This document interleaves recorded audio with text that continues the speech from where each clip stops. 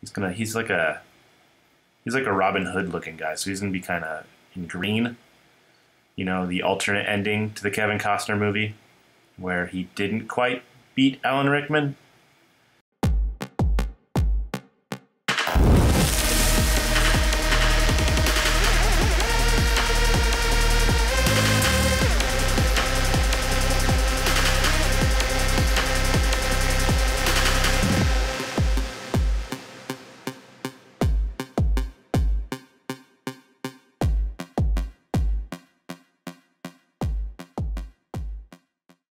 Hello and uh, welcome back to another colorful edition of I'm Awful and You Can Be Too. Uh, this week's gonna be kind of short since last week was really long. Uh, I'm just gonna color. Uh, as I'm sure many artists can, can attest, when it rains, it pours, and I am often just completely inundated with projects all at once.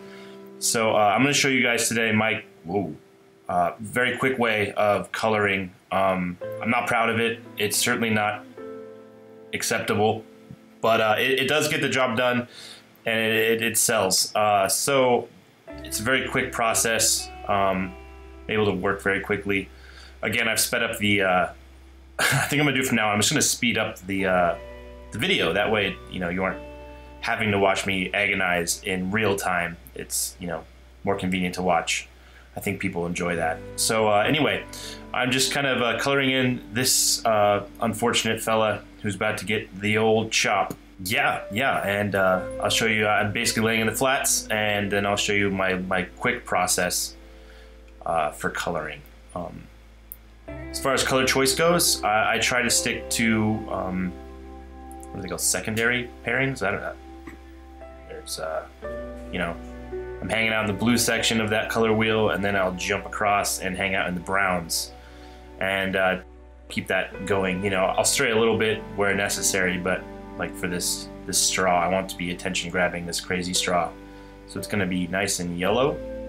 I don't know why I'm coloring it first, since it's I should color the bigger spaces, but I'm an idiot, so I guarantee I'll be coloring into that yellow on accident and having to fix it later. Uh, get the ground in here real quick. Um, yeah, not very, not very precise, not very exacting, just sort of quick and dirty. Because I got a lot to do. There, I'm working on about three projects at once, which is never a good idea. I don't know why it happens to me, um, but it, it is. It, that's what's going on. So I'm gonna grab a darker color and start filling in the uh, shadowy areas little dots to add, you know, granular sort of appeal of dirt. This sort of weird block here, I'm gonna fill in real quick. I didn't like that, so I'm gonna go a nice lighter shade. That's a little too much like the straw now. How will he get out of this mess? I like how I stated my, my color theory and then immediately broke it with these yellows. Whoops. Again, um, Usually I lay in the flats and a little bit of uh, shade, you know, just darker values. It's all additive. Uh, right now, for some reason, I exported this like an idiot. Um, and I have I have two layers uh, that I merged, and then when I exported them, they flattened with the back layer, and I'd done like 35 of them so I'm very much stuck with a lot of whites. So uh, usually I try to have the lines on top and then color underneath it on the, the layers below it. But this time, since I was a fool, I'm gonna have to use uh, the multiply feature and color on top. Which, you know, gets interesting as you, you know, move on and start having multiple layers at play, you know, because the color layers multiply on top of each other instead of laying on top I was a big dumb dumb, and I'm paying for it. But yeah, I'm gonna color a couple couple little quick drawings here today, uh, show you my process quickly, and then you, you guys can take it home if you like, or you know variations improve upon it. But the the thought process is essentially you color in all your flats, and then on top of it, you'll start using overlay layers for shades. Um, for shadowy areas and highlighted areas. So just a three-step process, basically. I don't know if that's a stump or if it's like a a weird wooden block. It's too similar. With like a ragged old sheet on top. I haven't really thought about that out. What what that is? Uh, there's obviously a, a, barrel of decapitated heads, so I'm I'm gonna have to take that into account. This isn't that this guy's uh, first of the day. I've been drawing a lot of mugs. I find my like I've been drawing fantasy pretty much nonstop, as I'm sure you guys have noticed. Aside from that Star Wars episode, I've been pretty much stuck in the fantasy realm, which is weird because I'm not a huge fantasy guy. Like, I like Lord of the Rings as much as the next guy, but I've played D and D maybe twice in my life, and yeah, I got more of a Mass Effect person than a than a Dragon Age person. So it's been kind of been kind of draining because everything I've been drawing has been in the same universe and trying to keep every character unique and not kind of, you know, rote. I don't know how well I'm doing. You guys can let me know. Uh, if I, some shameless cross promotion of myself, uh, if you want to follow me, I'll put links this time. Uh, I sometimes post stuff to Twitter, uh, not very frequently because I'm just not very good at social media. Not very, I'm not very good at anything. Um, but I am doing a much better job on my Facebook page. So if you guys want to follow me over there, the, the Scribbles of Clancy is what you can look it up under. Um, I post the videos there, and uh, I also am a, a vain piece of shit when it comes to Instagram. So that's another place you can check it out. So we are almost done with uh, the flats here. Nice little fill bucket. I still do the outline trace because I don't trust it. When, whenever you use it to fill all the way, like do the double click, you know, fill in a perimeter, fill it in, and then do it again, it, it'll always make jaggies on the outside, and I haven't really figured out a way to fix that, so you'll see, I'll do it here again. Dick, there you go, and then I'll, I'll manually fill in that little, the, the nether area betwixt them. Betwixt them. All right, let's see here. I seem to be having a heart attack. I seem to have stopped for some reason. I have an aneurysm. What's happening? Did I die? Okay, I'm back. All right. Again, with just uh, midtones, light shades, texture lines, go across the top there. So there we go, looking good. New layer. Ooh, we're gonna make some blood actually. Let's do, let's do some effects stuff. Let's have fun. We'll have our dessert before dinner smear again. I'm just grabbing a brush pretty much at random. I have no idea what they do, but this is uh, looking fun.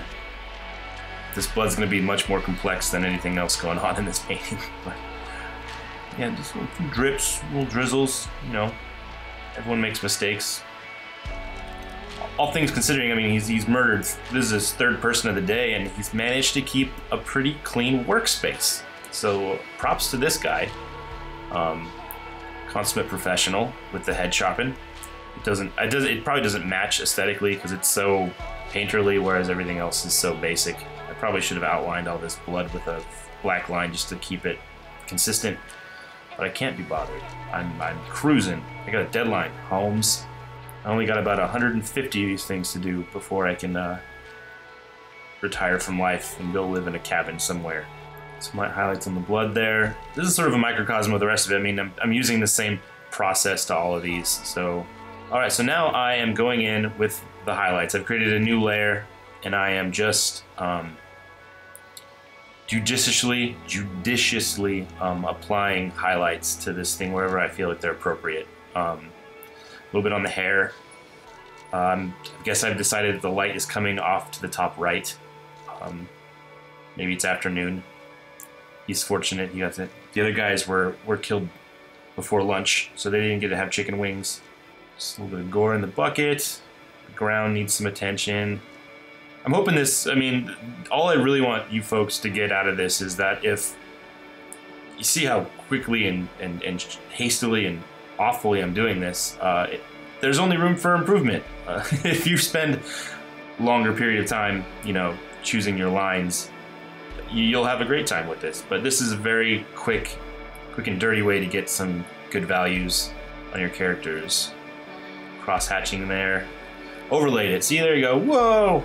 So simple. That's so easy. Now I'm going in and I just grab a darker shade of gray. Uh, you know, I, I use white and you use the overlay feature. And for this, I'm using uh, a, just a darker shade of gray. It doesn't really need to be much, actually, because you could always duplicate the layer once you're done. But just adding the uh, shadows where I, I, feel like they're appropriate. Um, you know, the folds of his cloth, the, the underside of the axe, um, anywhere the light doesn't touch Simba. So our obligatory Lion King reference. Forgot to shade in that area. I probably should have added a, another layer or, you know, done a different color for the inside of the robe, for the inside of the sleeve, but I'm, uh, cruising. I'm just cruising way too fast for that. Cannot be bothered. I did add a highlight layer uh, when back when I was coloring that mug, just for the wood grain of the mug, not for the bucket, because uh, apparently I don't, I don't give a shit about buckets. Just just the mugs. I got my head in the right place. I'm all about that alcohol. If it's wooden and doesn't contain an inebriating beverage, I'm not interested in giving you wood grain. So just shove off. In real time, I'm guessing this probably takes about 25 minutes.